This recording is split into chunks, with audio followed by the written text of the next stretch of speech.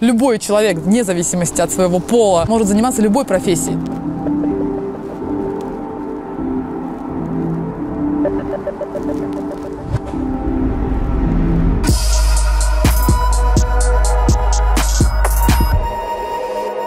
Творческий псевдоним World Queen.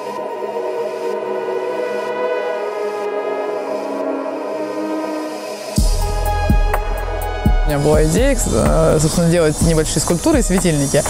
Вот, я обратилась э, к своему отцу, говорю, научи меня. И он, конечно же, удивился, конечно, но говорит, давай, конечно, тебя научу.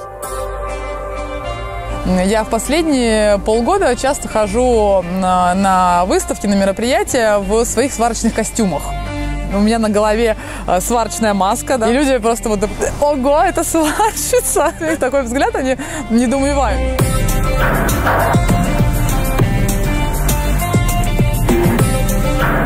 В начале пути моем там, ой, ты женщина, зачем ты занимаешься, иди вари борщ, рожай детей. То есть, как бы, ну, есть такие люди, которые так воспринимают.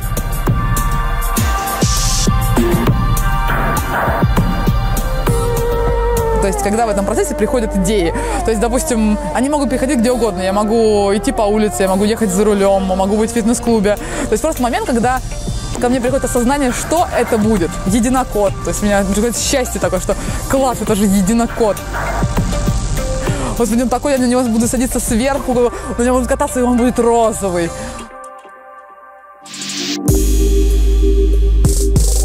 Я хочу, чтобы с ними люди взаимодействовали и через них э, выражать свое мироощущение.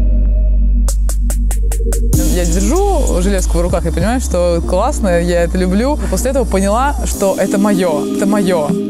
Я World Queen, и это просто я.